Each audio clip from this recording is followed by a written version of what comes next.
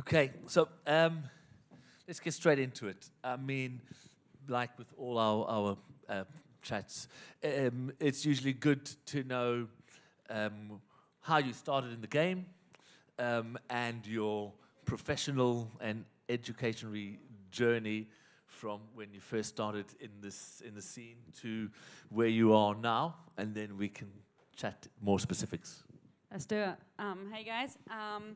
All right, I'll just give a quick run. Well, maybe not so quick. I'll run through of my path. Um, I I did my educational um, first step into the business. Um, I studied media and communications as my postgrad um, at LSE in London, and then I was a double master program, and the second year was at USC in California, in LA. And there, um, generally the US education system is much more flexible in terms of that you can pick your classes and kind of create um, the course how you want it to be. So uh, whilst I was studying at Annenberg College of Communication, there was also Thornton School of Music. So I thought, hey, I'll check out some music classes. Um, introduction to music business, music law, music publishing. And then I just realized, I'm like, hmm, I like this. I mean, I was already going out a lot, you know, partying, going to raves and everything. So it was always a passion of mine. And then taking these classes made me see, I'm like, you know, there's, there's a lot to be done here, a lot of different aspects to get into. And then um, I, yeah, so that was the educational background. Um, prior to that, I had already done an internship at Sony Music for Mike Pickering at Deconstruction, actually, which was my first um, dab in the um, label world. And then, yeah, what did I do then? Let me have a thing. That was quite. This was in 2012. Yeah, the internship at Sony, and then after my second work experience was at Universal Music Distribution, where I learned the distribution side of things, which was also very interesting.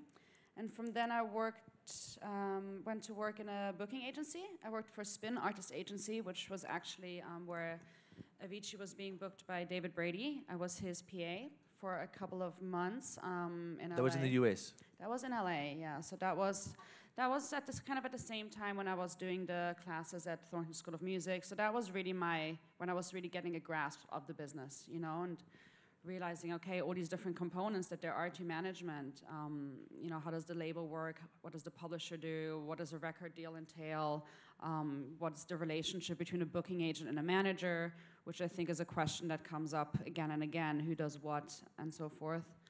Um, then yeah, so then I was working um, in LA, and then what actually took me away from that job was just the fact that I didn't want to be in LA. I wanted to be back in Europe. And that year I went to uh, WMC in Miami, and I was actually just going there to party and have a good time. And I met um, a now a friend of mine who introduced me to a manager in London. And this manager was Phil Sales, and he was working for 360 at the time. And uh, my friend Nick, who I met in Miami, you know, I was telling him, I kind of want to get back to Europe, but I don't really know what to do. I think I have a really good thing going here in LA, working, you know, a bit more in the EDM world, but still really in the world I wanted to be in. You know, I was helping run Avicii's Vegas residencies and doing some really cool stuff, but just wasn't geographically where I wanted to be. So I was a little bit torn between giving that up and going back to there. And my friend Nick was just like, hey, you should just go to London, meet with Phil, maybe they have something at 360. So I was like, okay, I'll give that a go. Flew over there. There was a you know, bunch of back and forth, a couple of interviews, and then a position opened up for me there um, where I was working as Phil's assistant across his roster. And the roster at the time was uh, Sasha, um, Feed Me, uh, slash Spore, which is like drum and bass, dubsteppy kind of vibes, and then Funk Agenda also.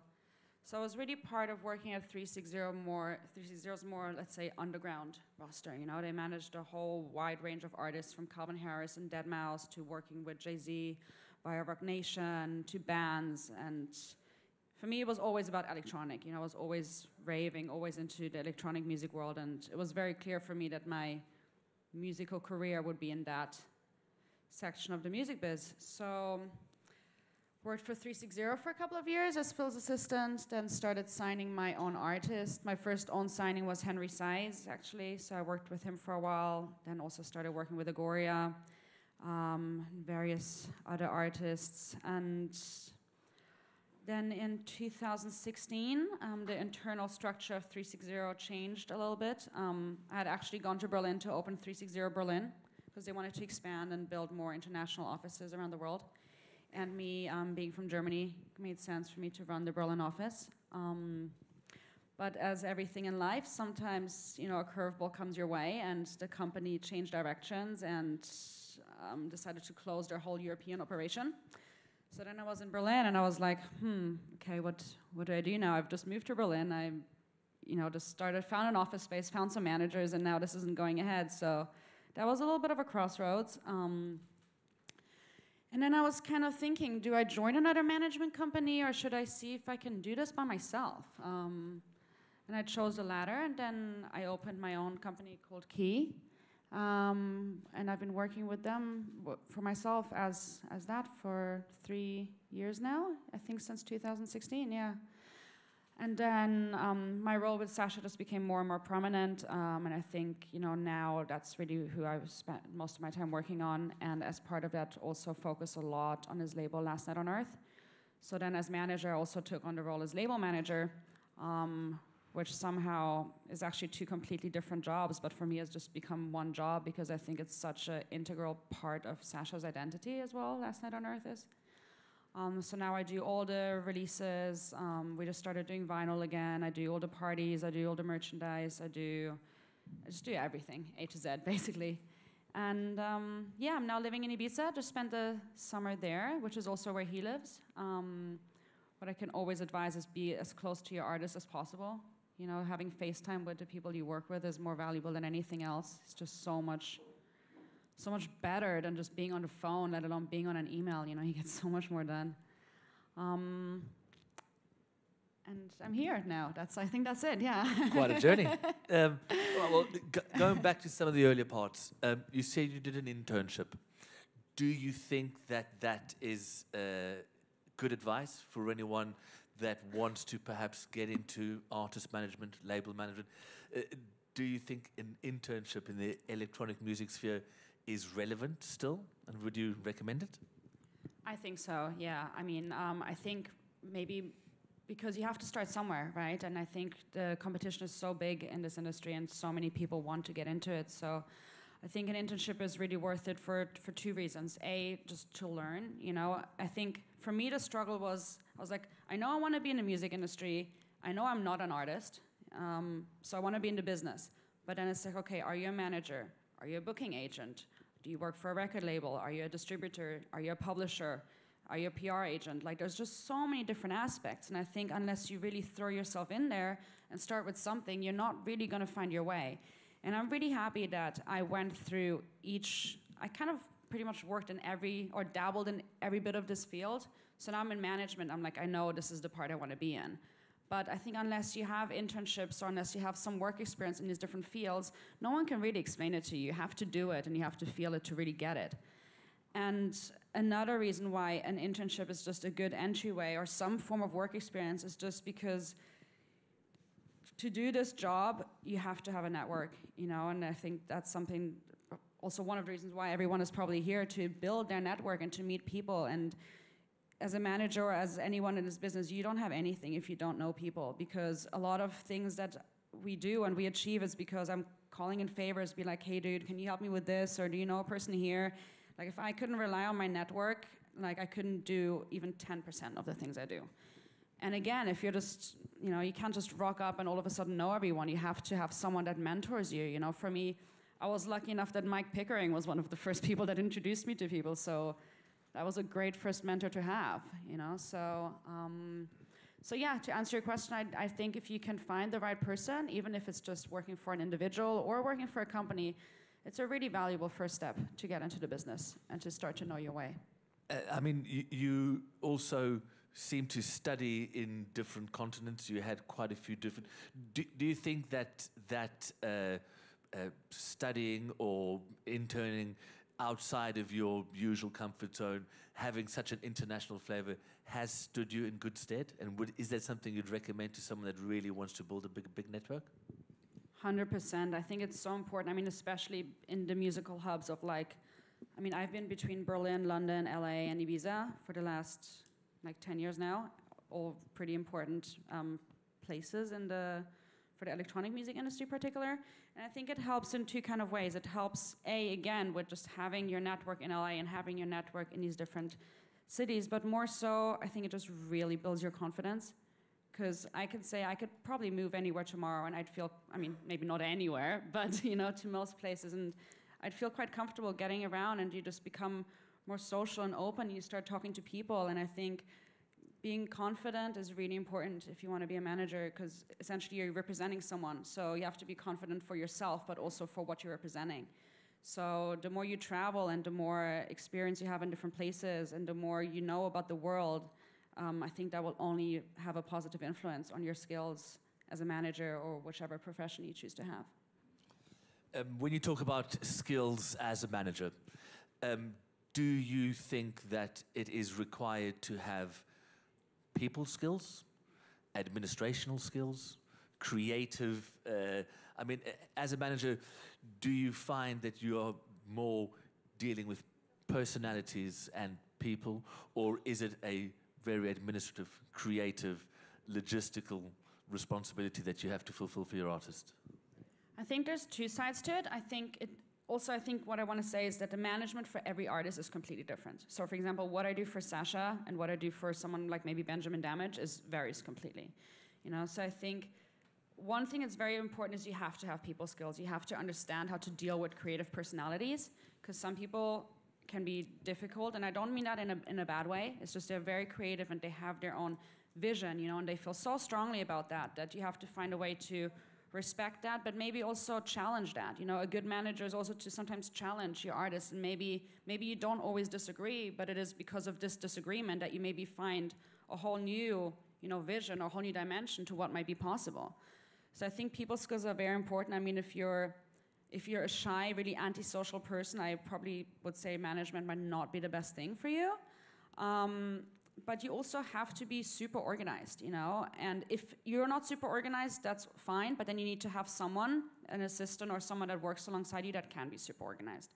I've also worked, you know, for people that maybe weren't that organized, but I, from my nature, I think I'm very quite organized. I keep on top of deadlines and stuff. You know, I, I love a good folder or like a good Excel sheet. So there's definitely also that side of it, especially when you you know, you work with touring, you work with budgets and everything, and that needs to have some sort of structure to it. You can't, a lot of it is winging it sometimes. Sometimes you just have to wing it and just go with it. But you need to have a backbone, especially to an artist maybe as big as Sasha. Like, you can't all be airy fairy, you know? So, well, I yeah. mean, it's interesting, like having an artist like Sasha, who's obviously had a long career, has loads of experience. He's he's produced, he's toured, he knows the game. Um, and when you take on an artist like that, that is so established, do you find yourself having to compromise what you think is good management? Or, or do you challenge him and you think that that is your responsibility, is to challenge and to, to be as frank as you can with him versus someone that probably thinks and has done a lot? Well, I'm going to be completely transparent and say that I've been working with Sasha for six years now, and our relationship has really developed over time.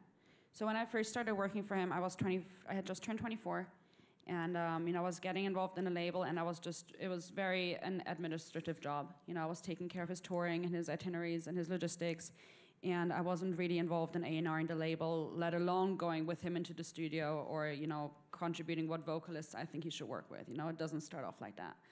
And I think um, it's really that relationship that has developed so much over time that now it's at the point where you know I spend two weeks at his house and work from his house and play with his kids, and it's really become a friendship where I kind of actually feel part of the family. So now, you know, when we do our A&R sessions, he'll be like, "What do you think?" You know, he will ask me what I think, and especially when we go through signing processes. I'll be like, I think this is really good. This will do really well, and we might disagree, but sometimes he'll be like, okay, sign it if you think it's good. You know, we've established that development of trust. Um, I've also a couple of months ago became a partner in the label, so we've actually like a shared owners now of Last Night on Earth, which has I think maybe brought the trust to even another level because essentially if I choose to take a risk, I'm not taking a risk on his behalf. Like we're taking this risk, let's say, you know. So, um, but yeah, I think to be a good manager, you have. I mean, sometimes you have to disagree with someone, right? Yeah, it, it, be it in a relationship or with your parents or with your sister or with your artist, you can't always be in the same opinion. And I think what's really important is how do you handle that? You know, if I don't think if I disagree or if maybe I think that I have a better proposal, it's just, you know, communicating that in the correct way is what's important. Be like, hey, your idea is cool, but you know, maybe what about this? I think rather than just saying, no, your idea, idea sucks, Yeah. for example. Uh, I mean, it leads me to the next question is loyalties. I mean, uh, I've also managed artists and uh, very often you have an artist and they reach a certain level of success and their loyalties can be questioned. Do you think that um, that loyalty that, that you expect um, should be contracted? Can one protect themselves against these kind of loyalties? Or is it something that you earn and, like you said, become part of the team and invest of yourself? Are you talking to the loyalty to the manager, let's say, or to Correct. the team? Yeah. Loyalty to the manager. Um, I think this can also be, I mean, usually if you're working as part of a bigger management company, um, most management, I mean, we're at 360, you have contracts with the artists. I think when you're working with, you know, entities like people like Calvin and stuff, or, you know, really, you know, big mainstream artists, then yeah, there definitely has to be some sort of contract in place. I personally don't have contract, actually, no, that's actually not true. I do have a contract in place now, but I didn't have a contract in place for the longest time. And we actually just put this contract in place as more of an administrative kind of thing, but it's a really kind of gray area, and I don't actually really know how to answer that question that well because you do have to protect yourself, of course, but I also think that an manager artist is such a close relationship, and if one of the people isn't happy, you should be able to leave, you know, because you're not going to be able to manage someone well if you're not getting along, and if you're forcing your artist to remain in this relationship because of a contract, you're not going to get anywhere. You know, it's going to create a bad vibe, and so I think it's. I, think there needs to be some paperwork in place to maybe protect yourself financially as well, because normally when you get out of a deal, um, there's like a sunset period, right, where you still commission on things that you have helped bring in.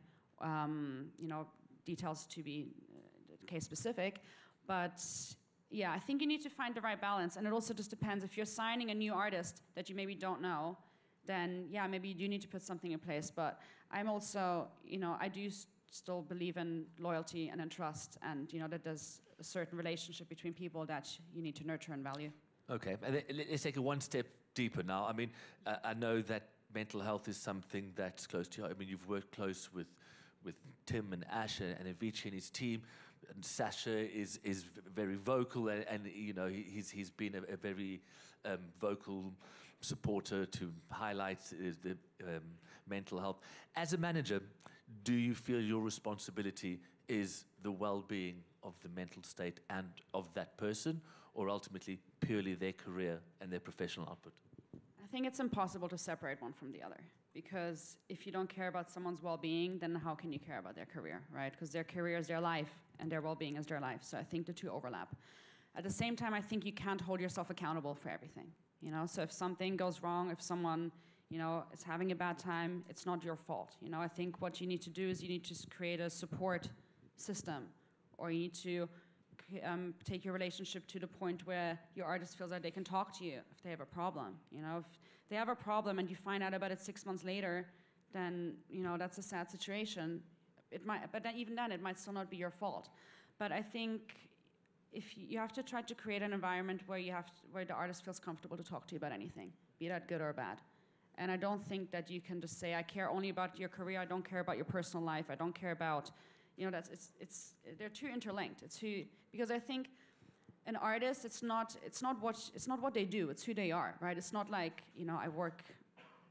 I don't know, as a postman or something like that. And that's Yeah. a stupid example, but you know what I mean. It's really Yeah. it's your whole identity. So one is so closely interlinked with the other that I think you're you need to be involved in every aspect. uh, being involved in every aspect leads me to my next question. Um, and I'm sure you've been asked it a thousand times. Um, the role of the manager versus the agent, should they be interlinked? Is the agent responsible to the manager? Is the manager responsible to the artist? Should the agent be purely responsible for the artist's um, uh, interests? I mean, uh, in a nutshell, do you think that that responsibility should be done by one person or entity, or continue with it being two separate responsibilities? I think it should be two separate responsibilities. I think it's really important to have that interplay between agent and manager. And I really like all the agents that we work with, and we have a really good relationship.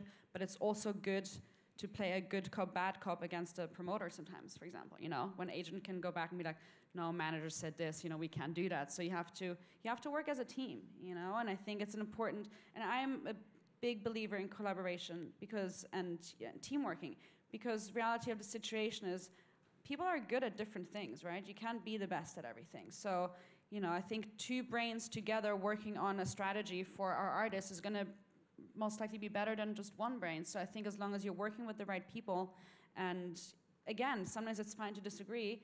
I think you can really achieve the most in you know in having the setup. And also, I think for an artist of the size like Sasha, for example, there needs to be you know you can't just be one person handling everything. You know, in our setup, for example, we have Ian that handles the world, and then we have Emma that handles North America, and we have a very good relationship with all of us. Um, the most important thing that I can't say enough is to communicate with everyone in your team again and again and again. You know, have calls, WhatsApp, emails, and make sure that everyone's on the same page. And the more you communicate, I actually find that the more you communicate, at some point, the less you will need to communicate because you will get so used to each other's interplay and working with each other that things will just take a natural flow, which is where I feel we're at at the moment.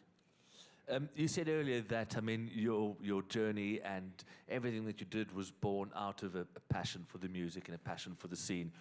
Um, do you have to sustain that passion? Do you still have that passion, or as you grow as a person, uh, does that passion grow and change as well? I mean, can you still be at the top of your game if you're not fully immersed in the nightlife like you were 10, 15 years ago? I'm still pretty immersed in the nightlife. I mean, I still go out quite a lot. Um, I think that you know you don't have to be raving every weekend, you know, for two days straight anymore. But I do think that you need to like the music and like what you work on, and it's important that you kind of have some sort of understanding of what's going on in the scene. And that doesn't mean that you need to be at Fabric until 8 a.m. every weekend or not, you know. But I still go to. I mean, just like in August, I went to Dekmantel Festival. I had no artist playing there. I just wanted to go I saw the lineup. I was like, Skee Mask with Zenker Brothers. Like, that sounds awesome. Let's go check that out. You know, like, I love going to listen to music. And and it was so cool. I went to Dekmantel backstage band. I didn't go into the backstage once. I was just on the dance floor and I just loved it. And it just gave me like inspirations. And afterwards, I went back to Sasha. I'm like, man, we should listen to that set. And then that inspires him. And it just, it's a, I'm in it because I love music, you know? So actually, I think if it gets to the point where I don't like music anymore, I think I'll just I mean, I also teach yoga. I'll just do that, you know. and if if you were approached by a, an electronic artist who's in the EDM sphere, could you and would you and should you still be able to take on a client or work with an artist that is in a realm of music that perhaps you're not passionate about? I mean, uh, should an, a manager purely surround themselves with the artists that they think are relevant to their personal taste in music, or you know, take on a, an EDM or an artist that jumps into crowds on on, on inflatable boats. um, I think that depends on the manager. I think um, for me personally, it's not possible. Straight up, I cannot. That's the question. I, for me personally, no, I cannot. I, I can't. I need because for me the things I love most about my job is like next week, next Thursday, Friday, I'm going to studio with Sasha in London, and I can't wait to hear the music or see, you know, what he's doing, and I'll just sit and I'll listen and I'll input, and we'll just have a really creative, just music day, you know, no phones, no anything, just listening to weird beats and wonky stuff and wild bass lines, you know. So if I don't enjoy that, how can I give my honest comment, or how can I A&R a label if I don't really like the music? It's it's hard. But there's also the flip side, obviously, you know, where maybe if you're working in a big management company and you have a really high grossing artist coming to you, hey, we're looking for management and you need someone to rep that. Obviously, if you can, it's great. But for me personally, if I don't have to, I would choose to work with music that I love and that I can understand. And I'm not saying that EDM is bad music ever. You know, I'm not one of those people that are really underground and I hate the mainstream at all. It's just from my personal taste, it's what I can relate to, and it's the business that I know.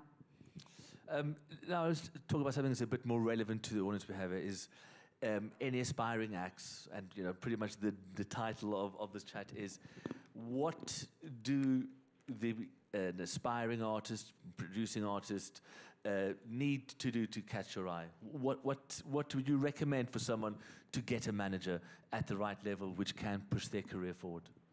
Persistence is so important. You know, I get approached so many times, and even I get sent so many demos. You know, and I'm gonna be completely honest. I can't listen to everything, and I don't listen to everything. And it's the way you present yourself first. You know, when you send an email, for example, sending demos, or when you first meet someone is so important. You know, I think it comes back down to confidence and you know clarity and just looking professional. It's really really important. Um, and I think, yeah, just persistence. I think just trying to be at as many things as you can. Because if you see someone over and over again, right, we're like we're creatures of habit, right? So if I see your face every day, I'm like, who is that guy? I see him everywhere, right? And that's kind of how I got my first job as well, because I was just going to everything. I mean, I was literally at every party that I could go to. I was there, and then I just started meeting the right people, and then from there it snowballed. So I think just you know, and it doesn't mean that you have to go and party all the time, but go to these conferences or go and just try to hang out, and then you know, I think there's also a little bit of luck, and you have to be at the right place at the, at the right time sometimes. And I'm a strong believer in karma, you know, and if it's meant to happen, it will happen. Like, I really believe that, and you have to too. But I think, yeah, you just have to be persistent and don't get discouraged because it's also different now than maybe when I started. You know, competition is higher. There's the business is much bigger. There's many more people that want to get in it. So it's more difficult maybe than it was when I first started.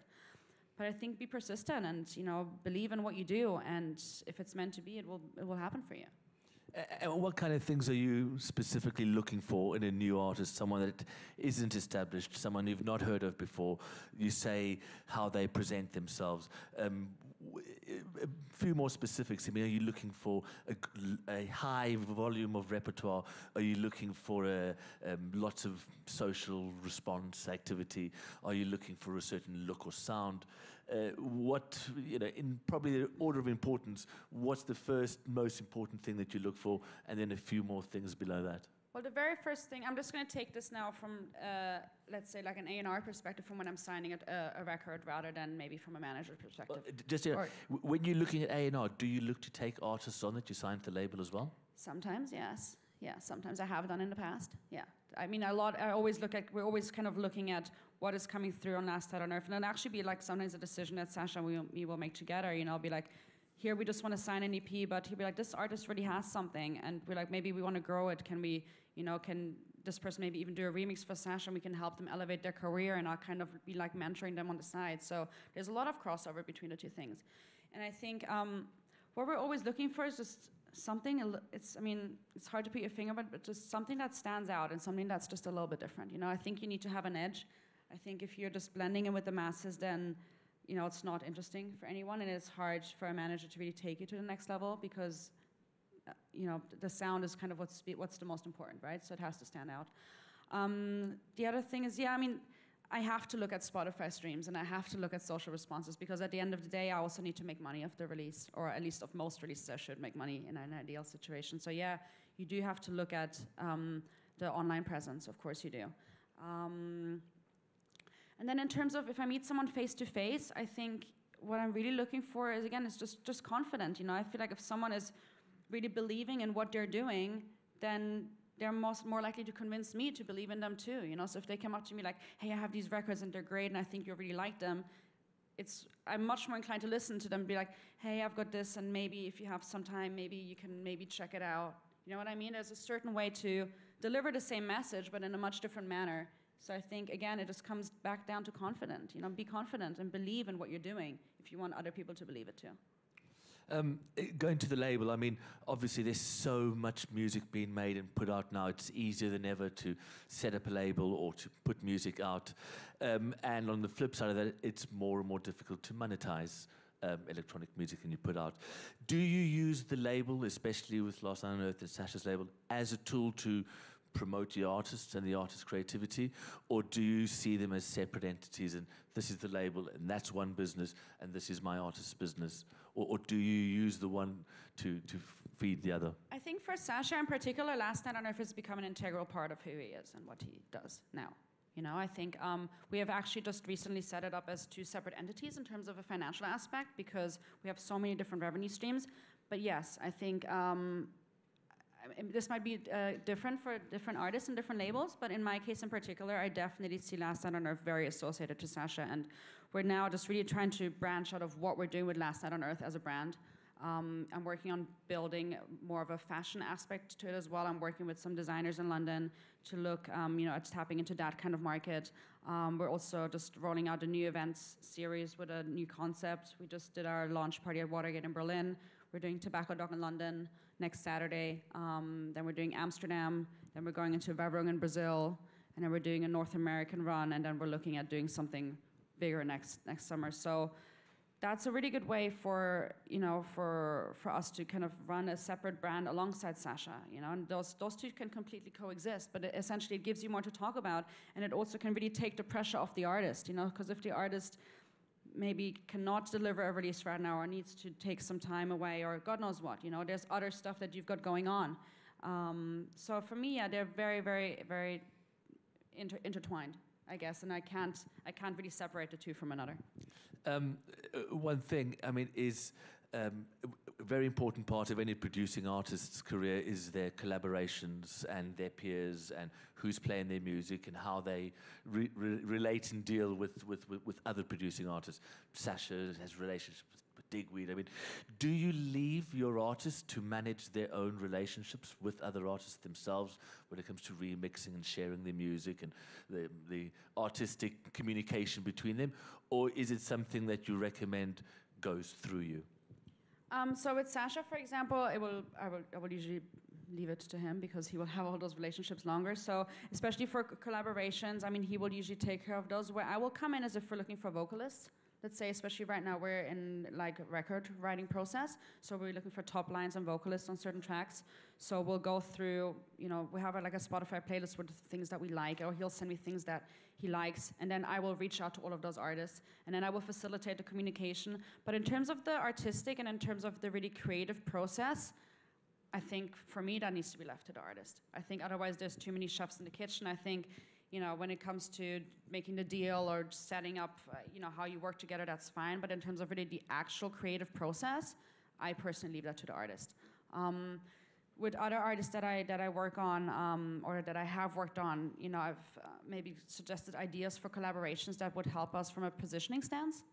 You know, maybe, um, for example, with um, uh, with Benjamin Damage, we're looking at doing a co-headline analog live tour with On y va um, from France. So, you know, we kind of thought that they could both benefit from each other because they both have strengths in different markets and they're both kind of doing the same thing, like really nerdy hardware setup kind of vibe, you know? So sometimes you see these opportunities and you're like, oh, this could work together. And then maybe you bring two people together. So again, it really depends on the artist and who you're working with. There's not really a blueprint set for this is how you manage an artist. It depends on who the artist is.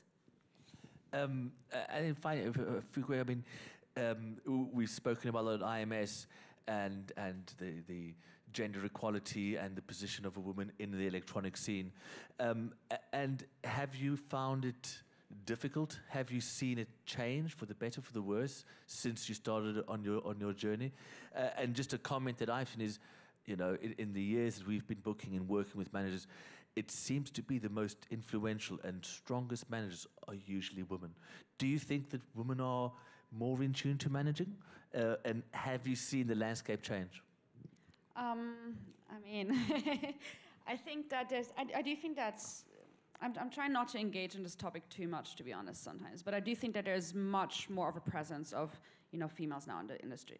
Uh, with everything that shesaid.so is doing and so forth. With management in particular, I think there's always been a few key female managers that have been um, around for a long time, you know, that have, you know, been some of the greatest managers maybe that there have been. Um, for me, I have to say I've never really found it that difficult being a female. For me, the thing that I found difficult was age, because I became or I started working for Sasha when I was really, really young, and I even still get it today. So people are like, "Oh, you're really young," you know, and then sometimes people maybe don't take me as seriously. Um, so that's actually something that I've struggled with a bit more than the fact that I'm a woman. It would be a nice conversation for us to start having because we've spent a lot of time talking about gender, and I think you're right. You know, there's a lot of um, energy and efficiency and creativity that, that comes from, from younger people, and you're right. Uh, a lot of the old guard, excuse the pun, are still very much uh, ruling the roost, uh, and there is a lot that could be learned. So. I mean, I can't tell you how many how many times it happens. Actually, how many times it happens to me um, when I go into a meeting. and my name Maren. I mean, sometimes people also think I'm a guy. It's happened many times. People are like, "Oh, you're Maren? I thought you looked different." I was like, "Yeah, you thought I was a dude, right?" so yeah, I mean that that happens all the time. But I more often than the female male thing is I really get people are like, "Oh, like I didn't think you were, you know, this young. I thought you were older." But you know, that is what it is. You know, I've started I started in this industry when I was pretty young. I've worked in it for a long time, and I've worked, you know, pretty hard. So I'm happy to be where, where I am now.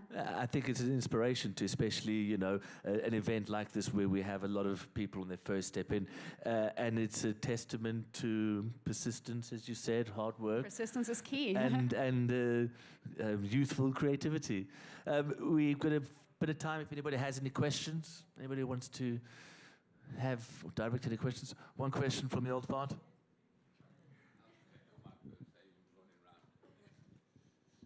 You know what's really interesting to hear talk about age. You know, it's nobody really speaks about the ageist, uh, you know, of, of our industry. It's always men or women or so on, and some people can think you're too old as well as being too young. So uh, that's probably a great subject for for Ibiza. You know, where we've got a. Older and younger audience, I suppose. Uh, just going back to one point where we were talking about agents v managers, because I'm interested because we started managing people. You know, we've run clubs and put festivals. We've been promoters for 20 years. Now we've become managers in the last couple of years. I'm interested in this relationship between agents and managers. Uh, in the end, who's the boss? I mean, forget the artist. We know the artist ultimately is the boss, but I, I, I tend to see that agents have a more short-term view of a an artist's career. You know, it's money now, big money, you know, get the numbers in. Where managers tend to be looking after their artists with a longer view. So in the end, could you put your foot down? Would you put your foot down if the, you thought the agent was putting him in the wrong show for the wrong money at the wrong time? Definitely, of course. Because I think, yeah, 100%. Um, I think you really hit the nail on the head. You know, I think um, as an agent, of course, you're getting the show, you know, and you're working as an agent, you're working directly on commission on that show, right? As a manager, you're working directly on commission over everything over a future period of time. So I'm happy to say no to a show now because A, I think maybe it's not the right look, or B, I think, hey, maybe if we wait six months, we can get a better show for a higher fee, you know, because it's still, the agent has a like a strategic hat on, right? Whereas, uh, sorry, the manager has the strategy hat on. Whereas the agent is much more, okay, this is a show, I have this offer now, I'm trying to fill the diary, and then, you know, the agent will flip it around on you. If I'm going to be like, hey, the diary isn't looking as good as it should be, he'll be like, well, I sent you these shows and you didn't want to do them. And I'll be like, well, they weren't good enough. You, you, know? Would you take the less money if it was a better show? Definitely. And we have done in the past. And especially for someone like Sasha, I think, um, you know, positioning and profile is so important. So if we can play a good show on a really cool uh, lineup to the right audience, you know, we've played show, like Sub Club in Glasgow, you know, super small cap show maybe not the best fee in the world, but loves to play it, super fun, nice, proper rave to the right people. And yeah, of course, I think you have to have the balance. Sometimes you have to take the money show, definitely. But also it comes back to what you were saying, you know, do you really love what you do? And sometimes, you know, and some other managers might hate me for saying that, but sometimes it's just not about the money. Sometimes you have to do it something because it's really fun, because you have to really, whatever you guys do, forget not to have fun, right? Don't forget why you started working in this business. If you're an artist or a manager, I'm here because I still love the music, and I think that should always, you should always try to keep that at, as the, um, at the forefront. I agree. Yeah. Perfect. One more question over here.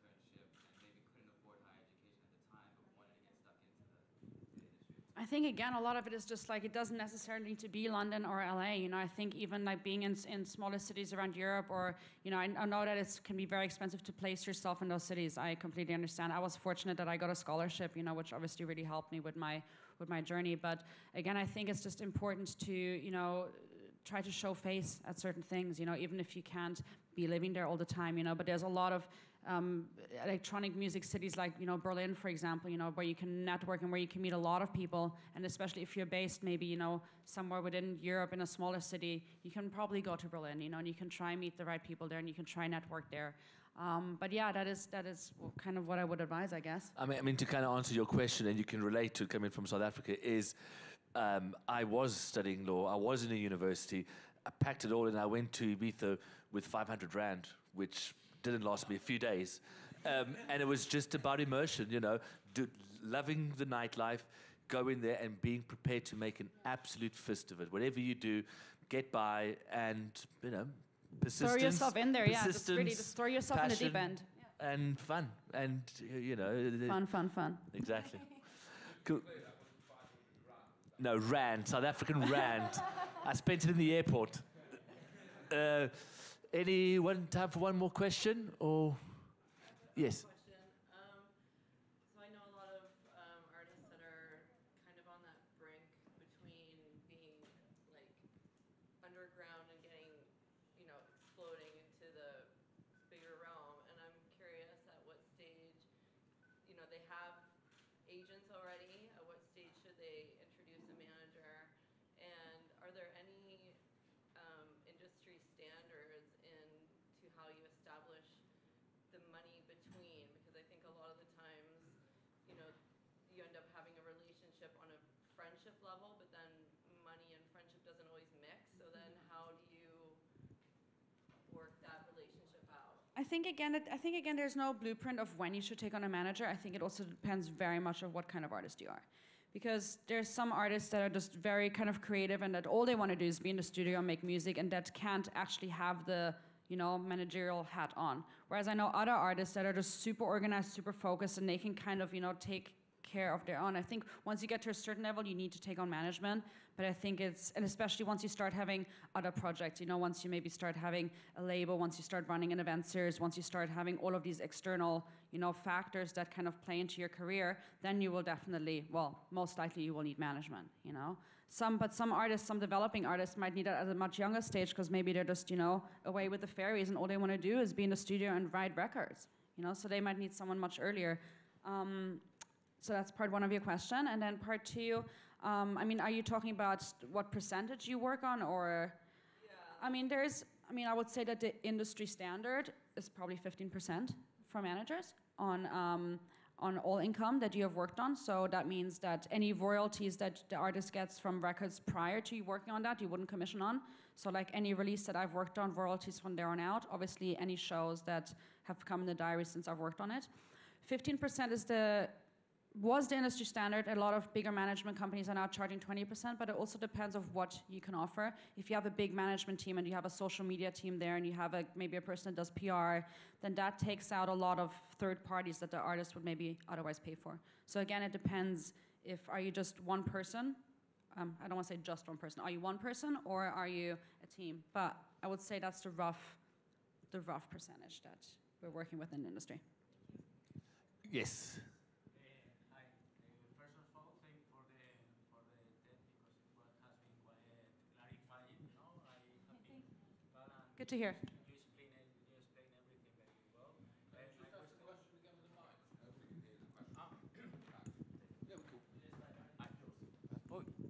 Yes. Swap. Now, yes, I just was telling, you know, thank you for this conversation. You know, I think it's very clarified. I, I, you explain it very, very well. My question is, uh, how do you manage the relation with the with the specialized press through the agents in the in, in the countries? Do you do it by yourself? And what are your thinking about about that? I have a, we have a press agent for Sasha, for example. Um, it's a girl called Lydia Laws, who's fantastic. I'm Just going to give her a little shout out here. Um, I think if you have the capacity to take on a press agent, um, capacity in terms of budget, it's definitely worth doing it because I think it's just a whole nother job, you know, rather than just you know the manager doing it. But obviously, you know, if there's no budget to hire a separate press agent, then you know you have to look at what relationships do you have with media partners and with journalists. And I mean, I know everyone at Mixmag or at DJ Mag. I can send them stuff directly, but obviously, it's really great if you can have someone that can handle that because Whereas I might just be sending things out to people. If you have really a dedicated press person, they will also play into overall strategy. And kind of like with shows, like I was saying to Danny before, is like, you know, maybe not take that show to get that show. It's the same with press. You know, you might hold off a hold off this interview because then we can get a placement with this bigger publication with this interview. And to, in order to build that strategy behind press, you really need to have a separate person on board because otherwise your head's going to explode. And you maybe just also don't have the know-how because like I said before, people are good at different things. You can't be the best at everything. You can try. And just to add to that, I mean, I think also the promoters that a performing artist works with in the different territories has to be one of your first protocols. If you don't have a press agent, see what kind of press and what support they can generate when you're touring. Uh, Maren, thank you so much for your Thank insights. you. It was really, really interesting. Uh, thank you all for attending. Thanks, Thank you. guys. Enjoy the rest of your IMS and everyone have a good dance tonight. Yeah, we're going to bring Nick straight in, so uh, uh, don't move.